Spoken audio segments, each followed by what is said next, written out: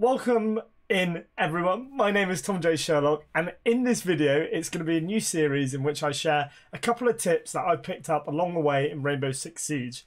By no means, shape, or form am I the best or actually very good player at Siege, and I should probably implement some of these tips myself. But we're going to be bringing to you today five top tips that you can use to improve your skill and hopefully your KD and get more of that ELO in Rainbow Six Siege. So let's crack on with it. First of all, you're going to want to figure out your role in the game. So we can split this into attack versus defense, and then we can split that into a further three separations as well. So when you're on attack, there are three options you can go with really. It's either hard support, so you would be playing the likes of Thermite, you're playing the likes of Ace, Thatcher, basically people who are going to be opening walls and getting rid of utility. So your main operators you're looking at are either hard breaches or people with hard gadgets or people with EMPs. Your second option can be playing as entry, and that is you're the person who's getting droned in, you're the person looking to pick up those entry frags for your team. Usually you would see people playing Nøkk, Iana, Ash, Zofia, all players who are quick and have fantastic guns to be able to drill down those opponents you come up against. Your final role is sort of a flex or soft support, and you're going to be players such as Dokkaebi. Um, you could also be nomads, so sort of kind of flank watchers. You're also going to help your entries, backing them up, refragging your entries when they die as well. Then we switch over to the defense. And once again, it's got similar roles. You can start off with the roamer role. The roamer role, you sort of have players such as Solis, you have your Vigil, maybe not as much, your Oryx, and these are the players who are sort of off-site, looking to pick up those entry players, get a couple get a couple picks before you look to rotate back to site as well. Or you might be your sort of hard support turtle approach, and those are players like Mute, Bandit, Mira. You're going to stay on site. Your task with locking down that site and ensuring that no quick rushes come in and catch your team off guard. The final role is similar to the attack, and that's going to be flex. You're your player who sort of backs up your roamers. Um, you sort of have your, your Jaeger, your Frost. You can sort of play off site a little bit, but th if things get a little bit dicey, you're going to want to make your way back to site. So my first tip is identify which role fits you best, but also which role fits best with your team. If you're usually playing entry, but you see your other teammates play entry, especially if you're solo queuing, maybe go for a hard support role in which you can back up your teammates as well.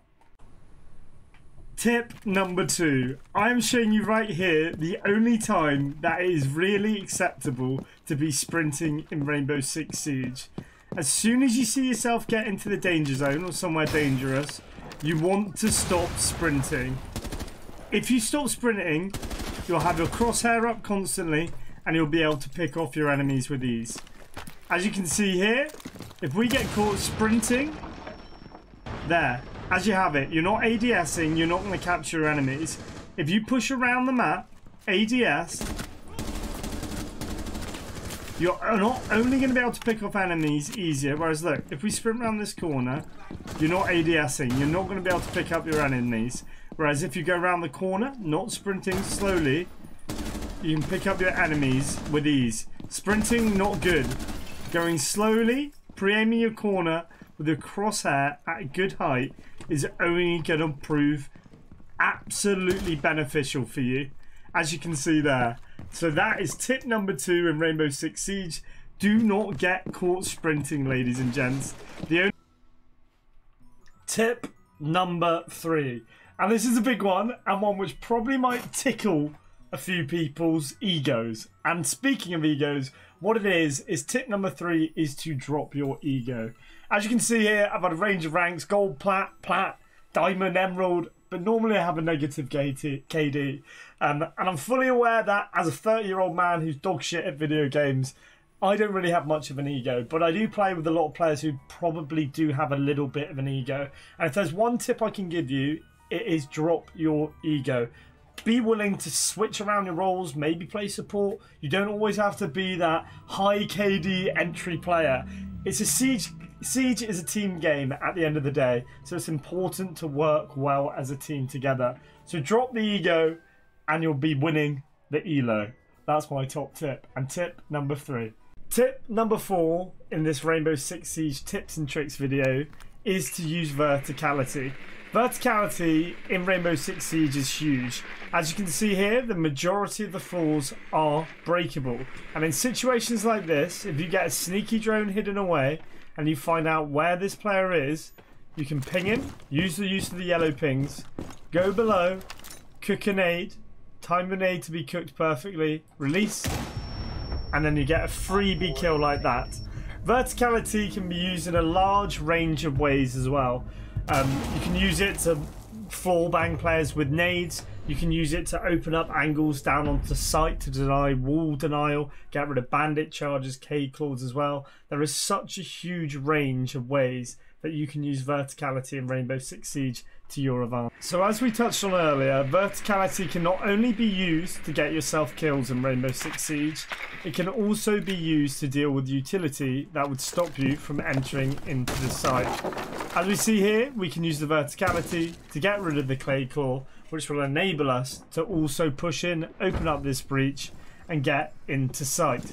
Verticality is one of the biggest things you'll be seeing used in Rainbow Six Siege to your advantage. Whether um, so as you can see, not only have we opened up the vertical angle to get rid of the K-Claw, but if you find out that the player's down below, you can do a handy little trick like this, where you drop a grenade on the floor, sledge it, that grenade will fall through, and then it will pick up the kill onto the player as well, which means you can not only get a kill, but it's not as dangerous because you're not opening up the angle, then shooting down, you're placing that grenade on the floor, sledging it and getting a nice freebie kill and using verticality to your advantage once more, which is why I think verticality is such a huge advantage in Rainbow Six Siege and something you need to make the most of.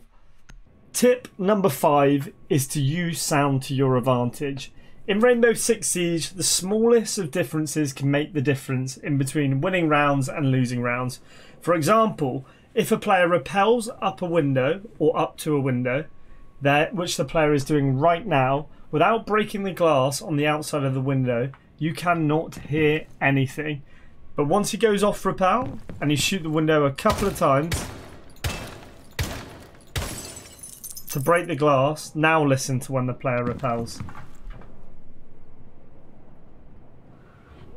So it is so, so much easier to hear this player simply by breaking the glass. You don't have to open up the window to give away the player's position. But if you do break the glass, you'll be able to hear that player rappelling all the way up and gain an advantage on that player and finish them off nice and easily. and that brings us to the end of Tom J. Sherlock's top five tips to help you improve in Rainbow Six Siege. If there's any tips that you have, drop them in the comments below and I can maybe put them into the next video as well. Now have a lovely rest of your morning, evenings and afternoons and hopefully see you in the streams or in future YouTube videos or on my banging Twitter because we drop some absolute banger tweets on there and see you all soon. Farewell, goodbye.